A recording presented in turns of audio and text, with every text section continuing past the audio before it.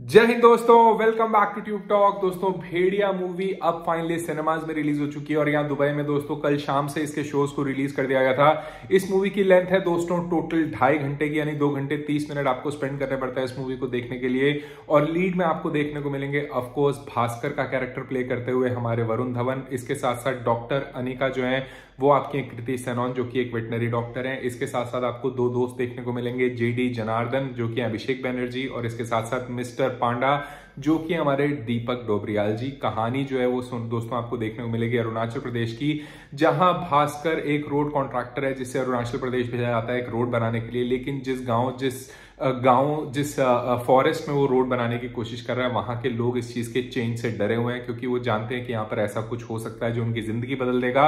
और ऐसे में भास्कर को एक भेड़िया काट जाता है और फिर भास्कर की और उसके आसपास के लोगों की ज़िंदगी कैसे बदलती है, ये सब जानने के लिए आपको इस मूवी को देखना होगा, लेकिन आइए मैं आपको हूँ इस मूवी में क्या अच्छा और क्या बुरा और क्या आपका ये टाइम स्पेंड करने लायक है भी या नहीं?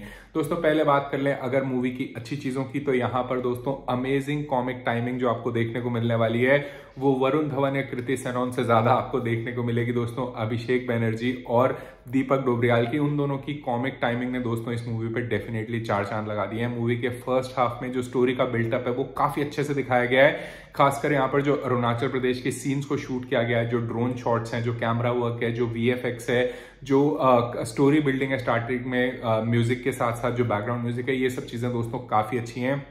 फ़र्स्ट हाफ़ इसका काफ़ी ज़्यादा एंगेजिंग है। जो आपको एक ऐसे एंड पे लाके छोड़ता है कि अब आप सेकंड हाफ़ में इसका कंक्लूजन देखना चाहते हैं। मूवी में परफॉर्मेंसेस की बात करूँ तो वरुण धवन एकदम सुपर उन्होंने परफॉर्मेंस किया है। जिस तरीके से वो कॉमेडी रोल को निभाते हैं, वो यहाँ पे आपको देखने को मिलेगा। इसके साथ साथ जो उनका ट्रांसफॉर्मेशन होता है भेड़िए में, वो भी दोस्तों काफ़ी डिसेंट है। एक्चुअली उन्होंने खुद को काफ़ी अब्जॉर्ब किया है इस उसमें टोटल अपने कैरेक्टर में। इसके साथ साथ अगर बात करूँ मैं डॉक्टर अनिका की या कृति सनौन की, उनका दोस्तों लिमिटेड रोल है, लेकिन वो देखने में अच्छी लगी है। कॉमिक टाइमिंग की बात करूँ तो जैसे कि मैंने आपको बोला दो मेन कैरेक्टर हैं जिन्होंने इसमें कॉमिक भर भर के कॉमेडी डाली है और इसके अलावा दोस्तों आपको काफ़ी सारे रेफरेंसेस मिलेंगे। पुरानी मूवीज़ के जो इस तरीके की मूवीज़ थी जुनून टाइप की आ, उसके रेफरेंसेज हैं। इसके अलावा चड्डी पहन के फूल खिलाए उस टाइप के रेफरेंसेज हैं। और कुछ पुरानी चीज़ों के रेफरेंस के साथ साथ एक अच्छी कॉमेडी एक अच्छी टाइमिंग आपको देखने को मिलेगी।